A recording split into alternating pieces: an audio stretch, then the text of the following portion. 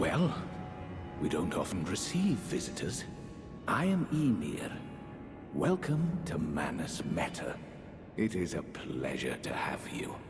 In lands so forsaken as these, chance encounters are precious indeed. Seeing that we have convened here on this day, allow me to mark the occasion with a modest offering.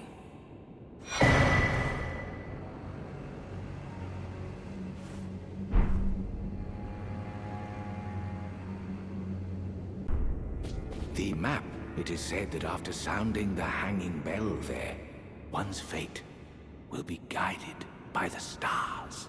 I'd help those who fight for their I'm not mistaken, am I? You are a fighter. Is something that I've given you a map to the hallowed ruin? Oh, I suppose you expect a lesson of me, do you? I know the feeling. Those with purpose are nothing if not ravenous for power. For...